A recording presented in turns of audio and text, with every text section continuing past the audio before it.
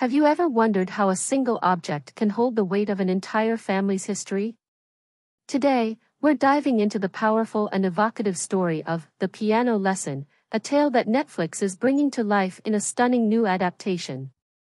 Imagine an heirloom piano, intricately carved by an enslaved ancestor, becoming the center of a heart-wrenching conflict within the Charles family. This isn't just any piano, it's a symbol of heritage, legacy, and the spirits of those who came before. Boy Willie, portrayed by John David Washington, arrives in Pittsburgh with dreams as grand as the land he hopes to buy. His plan? To sell the family piano. But his sister Bernice, played by Danielle Deadwyler, stands firmly against it.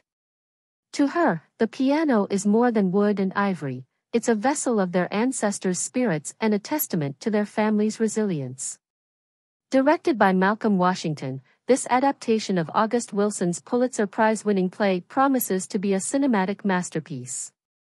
The stellar cast includes the legendary Samuel L. Jackson as Doaker Charles, the family patriarch, alongside Ray Fisher, Michael Potts, Erykah Badu, Skylar Aleece Smith, Jerrika Hinton, Gail Bean, and Corey Hawkins.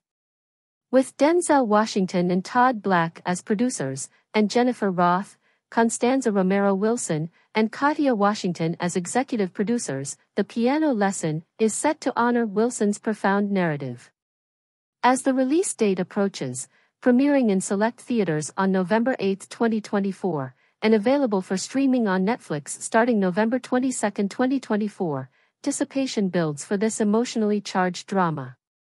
It delves deep into the complexities of family bonds and the weight of history, continuing the legacy of Wilson's American Century Cycle, which includes other acclaimed works like Fences and Ma Rainey's Black Bottom. Share your thoughts in the comments below. If you enjoyed this video, make sure to subscribe to our channel, turn on notifications, and give us a thumbs up.